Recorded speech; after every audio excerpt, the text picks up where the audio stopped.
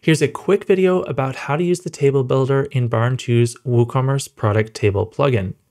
If you need a complete guide, which includes installation instructions and other settings, then check out this video first. From the WordPress admin, you can launch the table builder at any time by going to Products, Product Tables, and Add New. So with the builder open, let's go through all of the steps now to create a new product table. We'll start by giving our table a name, and then we'll choose how we want to display it. You can either add it to any page using a block or shortcode, and I would choose this option if you want to manually add the product table to like a normal page or post or some other location which is not one of the main WooCommerce pages or you can display it on one of the preset WooCommerce pages. So for example, we can replace the main store layout grid with a table within WooCommerce. And in the next step, we'll choose which of those pages we want to add it to. If you chose to display the table on a shop page, then you'll see a list of the different pages that you can choose. In my case, I want it to be on the main shop page, but I'll very quickly show you how this option will change if you choose to add using a block or shortcode. Now here this step has changed from location to content.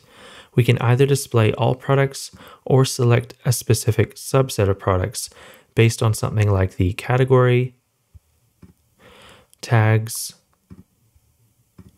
or some combination of these sort of things. But I'm going to go back because I want this to replace my shop page and click next. Now we can select which columns that we want to appear in our table. There are some here by default, including the image, which will just show a little preview image of the item. The name, obviously that's very useful.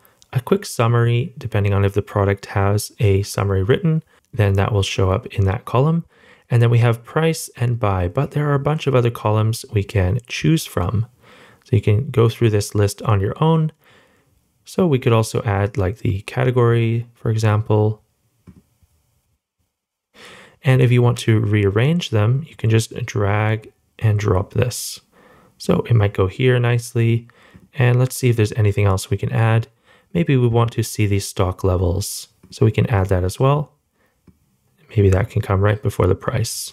Pretty soon I will also go through some additional or advanced column options in the edit table screen, and these will allow you to control the width and responsive settings for each column. Now in the add to cart section, these options affect the buy column in the product table. But if you haven't included this column, then they'll all be ignored. So choose any of the available add to cart methods, which could be cart buttons, checkboxes, or both cart buttons and checkboxes. As the default option, Cart Buttons displays the standard Add to Cart button for each product. Or if the product cannot be purchased, like it's out of stock or part of a grouped product, then a Read More or View Products link is displayed. With the checkboxes option, then it'll show a little checkbox in the buy column instead of the normal add to cart button. And customers can select multiple products at once and then use a button to add selected to cart which will either live above or below the table. And then of course, if you're displaying both, then they'll see both options.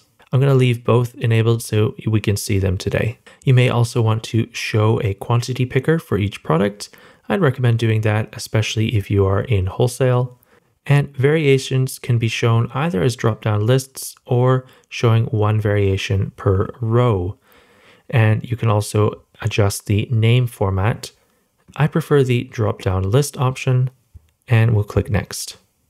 We can use search and sort to make it easier for customers to find products. For example, we can enable filter drop-downs and choose what filters we'd like.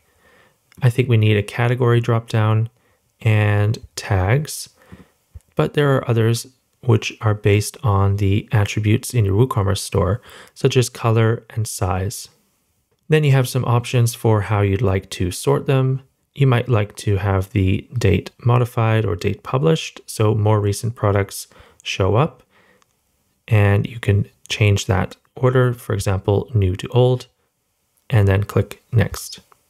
You can also enable lazy load to improve performance by loading the overall page before the product table and loading one page of products at a time. I would only recommend enabling lazy load if you have a lot of products in the table or are experiencing slow load times. That's because due to the way it works, it necessarily limits or changes some of the table behavior. And you can learn more about this in our article about lazy loading in our knowledge base. So for now, I'm going to leave that unchecked. The final page of the table builder will explain how to add the table to your site. If you selected for it to replace the shop templates in the first step, then you don't need to do anything further. Alternatively, you can add the table anywhere on your site by either inserting the product table Gutenberg block and selecting the table that you just created, or by copying and pasting the shortcode, which is displayed on this page. In my case, I created a table that will appear on my main shop page. So let's quickly take a look at it and make sure it's doing everything that we want it to. Awesome, so this is already looking really good. I've got my categories and tags drop down filters. So if I click on something like this, it's going to just bring up those products. I also have the option to modify how many products are shown on this page and a search box, plus all of the columns that I added. It may be a little bit too many, but it just depends on how much info you want to show about each of your products. And note that there are quantity boxes, add to cart buttons, and selection boxes. To modify the settings of any table, go to Products, Product Tables, and use this Edit option for any existing table. To learn more about how to edit product tables and modify the main plugin settings, check out the full guide video we made here, or use this link to test out the plugin for yourself. And of course, thanks for watching.